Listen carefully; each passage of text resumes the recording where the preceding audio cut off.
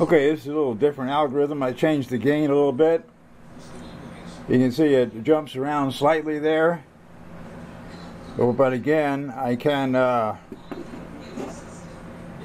go to an angle, say 42 degrees that is there.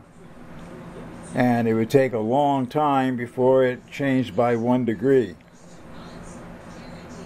42.39, 37, 38. 42.4041 but obviously it has a long time to get across the floor and still be within a degree. Very good gyro performance. Go back to zero here. Heading north. Straight behind me is north.